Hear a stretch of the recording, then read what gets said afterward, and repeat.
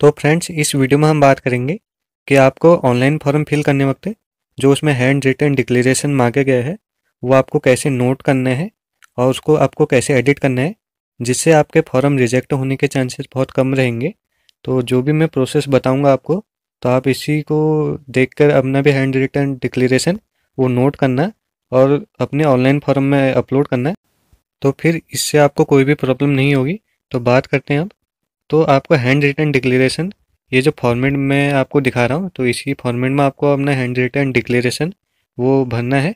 एक आप blank paper ले लेना वाइट पेपर जैसे ए फोर साइज़ का कोई भी वाइट पेपर ले लेना, उसमें आपको एक पेन से लिखना है। कोशिश करना आप ब्लैक पेन से नोट करो इसे। ब्लू पेन से भी कर सकते हो, लेकिन ज़्यादातर चांस में ब्लैक पेन ही मांगा जाता है। तो आप ब्लैक पेन से ये जो हैंड रिटर्न डिक्लेरेशन है, ये फिल करना। है तो बात कर लेते हैं अब आपको ये भरना कैसे है? तो सबसे पहले आपको ये कॉमा लगाना है इन्वर्टेड कॉमा फिर आपको लिखना है आई फिर इस वाले बॉक्स में आपको अपना नाम लिखना है, जैसे किसी का नाम मनोज है तो वो यहाँ पर अपना नाम लिखना और नेम फिल करने वक्त आप एक बात का ध्यान देना, जैसे मैंने आपको बताया कि मनोज, मैंने बताया आपको नाम तो मनोज का जो पहला वर्ड जो वर्ड है, ये आपको कैपिटल में रखना है, और बाकी के जितने भी वर्ड हैं, उनको आपको स्मॉल में रखना है। तो उस तरह आप अपना भी नेम यहाँ पर फिल कर देना। फिर सबसे पहले मैंने आपको बता दिया, आपको आई लिखना है, जो कि आपका कैपिटल लेटर में आएगा। उसके बाद नेम आ गया आपका। फिर उसके बाद नेम जहाँ पर आपका ख़त्म होगा, उसके बाद एक कॉमा यहाँ पर लगाना है। ये लगाना में भूल गया। तो कॉमा लगाने के बाद फिर आपको लिखना है hereby declare that all the information submitted by me in the application form is correct ठीक हो गया? इतना लिखने के बाद यहाँ पे फिर आपका एक कॉमा आएगा। फिर आएगा आपका ट्रू एंड वैलिड फिर आपका आएगा यहाँ पर डॉट फिर यहाँ पर, फिर आई जो होगा कैपिटल लेटर में होगा I will present the supporting documents as and when required फिर डॉट लगाने यहाँ पर, फिर उसके बाद इन्वर्टेड कॉमा बंद। तो इसको आप इसी फॉर्मेट में लिखने की कोशिश करना। पहले आई फिर उसके बाद नेम आ जाएगा आपका, फिर उसके बाद हेयर वेयर डिक्लेयर डेट फिर इसको एक लाइन में लिखना है, आपको इसी फॉर्मेट में लिखना है, जैसे हाइट और विर्थ इसकी बना के रखना है। ऐसा नहीं कि आप एक पेज में यहाँ से पूरा लंबा एक ही में लिख रहे हो। इसको थोड़ा नीचे को तीन चार लाइन में लिखने की कोशिश करना है।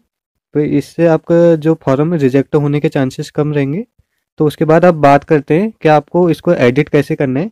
जैसे मैंने ई एस आई सी का ये फॉर्म देखा था तो ई एस आई सी के फॉर्म में आपको जो हैंड रिटन लिखने के बाद आपको उसका एडिट भी करना होगा, फिर उसके बाद आपको उसमें अपलोड करना होगा। तो आप मोबाइल फ़ोन के माध्यम से ये जो हैंड रिटर्न डिक्लेरेशन है, जो आपने अपनी नोटबुक में लिख लिया है, उसको आपको कैसे उसमें एडिट करना है तो उसके बारे में आप बात कर लेते हैं। तो उसमें जो आपका जो फॉर्मेट मांगा गया था, वो जेपीईजी और जे फॉर्मेट में मांगा गया था तो वो भी मैं आपको बताऊँगा कि आपको कैसे सेट करना है, और उसकी जो हाइट और विर्थ कितनी मांगी गई है, और उसको कितने के तक उसका साइज़ रखना है तो वो भी आगे डिस्कस करेंगे। तो इसे मोबाइल फ़ोन के माध्यम से एडिट करने के लिए आपको प्ले स्टोर में जाना होगा और एक एप्लीकेशन आपको डाउनलोड करनी होगी। तो मैं आपको प्ले स्टोर में लेके चलता हूँ तो दोस्तों, मैंने अपने मोबाइल फ़ोन का प्ले स्टोर ओपन कर लिया है।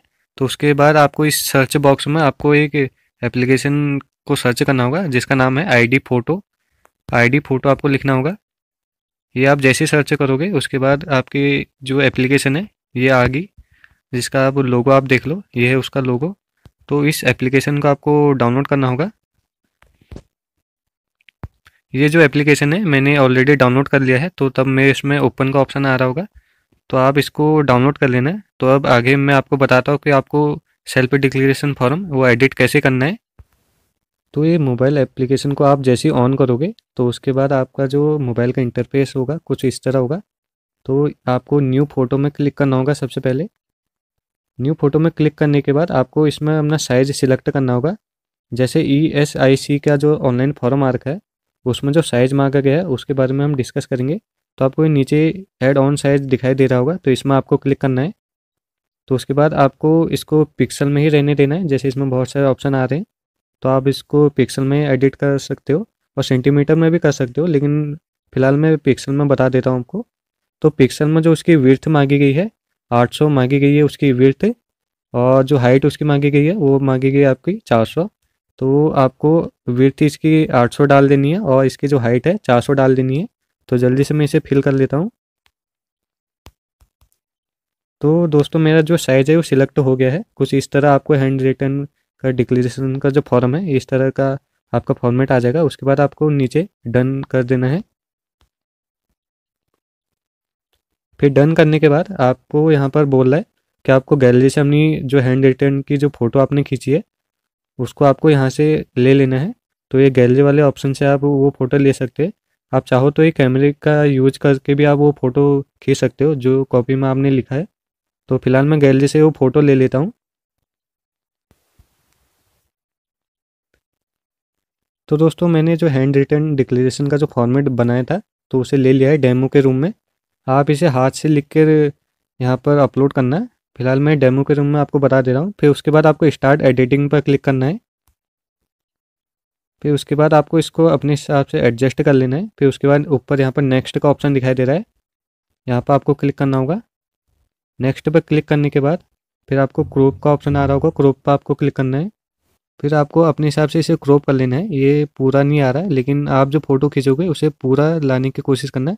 तो ये जो बॉक्स जैसा बन रहा है वाइट वाला तो इसी में आपका जो पूरी फ़ोटो एडिट होगी। फ़िलहाल मैं डेमो के रूम में आपको बता रहा हूँ, फिर आपको क्रोप पर ओके करना है। फिर आपको नीचे बहुत सारे इसमें फ़िल्टर भी आपको दिखाई दे रहे होंगे, इनका यूज़ आप चाहो तो कर सकते हो। फिर आपको नेक्स्ट पर क्लिक करना है।